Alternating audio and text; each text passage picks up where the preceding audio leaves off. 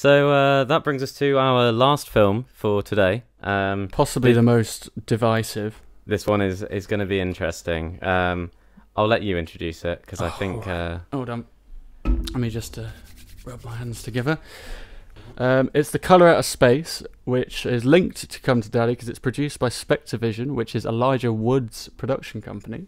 that's interesting. Um, directed by Richard Stanley in his first directorial feature s- in since the, the Island of Doctor Moreau, which I was in '96, I think.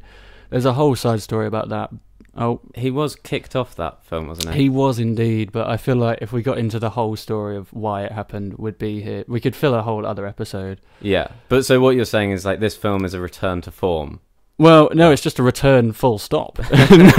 he, I think he's had a couple of writing features, but it's his first directorial job since then that I'm aware of. Um, and it's starring none other than Nicolas Cage. And who else have we? I'm, I, I've just written down Nicolas Cage mainly because that's all you need.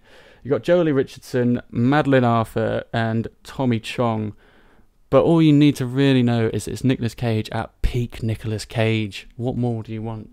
Um, it's a H.P. Lovecraft adaptation of the short story of the same name. A meteorite lands on the Gardner family's alpaca farm, and it brings a strange light and infection with it that slowly starts to bend reality around everything. And that's about all I can say.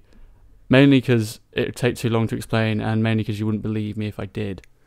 And also, I'm going to add because it doesn't really matter what happens after that, does it? Because I mean, this is a, this is a genre called cosmic horror.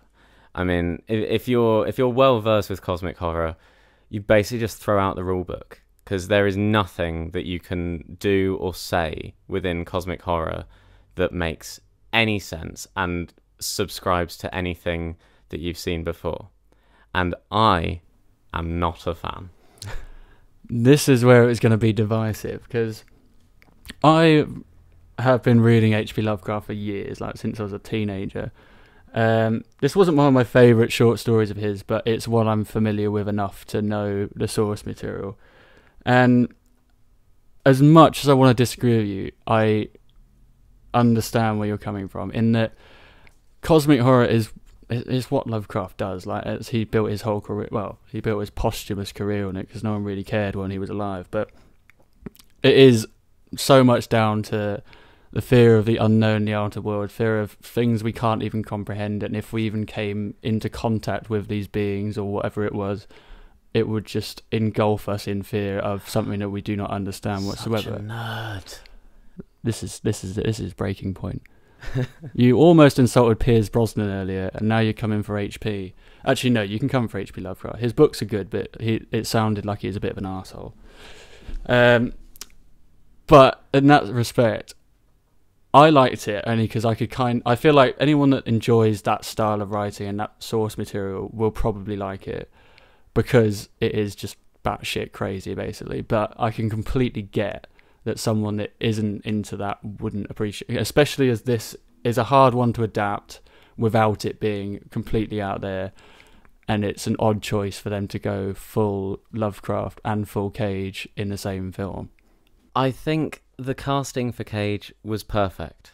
I think you know this is the kind of thing where you know you you get everything out of him. You get everything out of his uh, as of recent sort of limited acting range, which I know is probably going to piss off a few people. But and me included, but yeah. but my my main bugbear is I understand that cosmic horror and and this film in particular kind of sticks its middle finger up to logic, but at the end of the day, I don't think that that's an excusable defense for poor script writing, and I don't see that there was enough thought or consideration put into how this script functioned.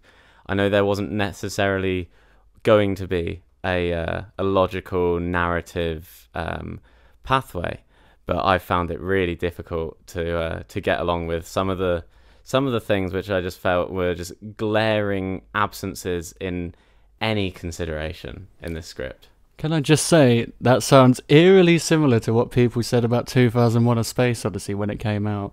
Just say it. No, I'm We're joking. It's definitely not on the same fucking pe- like. I please, I was joking. Anyone that hears that and think I wasn't joking, I was because I fucking love 2001. But I get what you're saying, and I think it's one of those that we could argue about it all day, and I'm probably not going to change your mind. You are very set in your ways of this. I gave it a six. I wrote maybe seven, but then I feel like it could have been done better, and I feel like it's an odd choice for them to adapt such like a deep part of the Lovecraft stories that's not very accessible, and then put a big actor like Nicolas Cage or a known actor like Nicolas Cage in it, and put it out for major release, and expect people to understand it. Like it was never going to happen. So I'm fine with it, but I know other people won't be.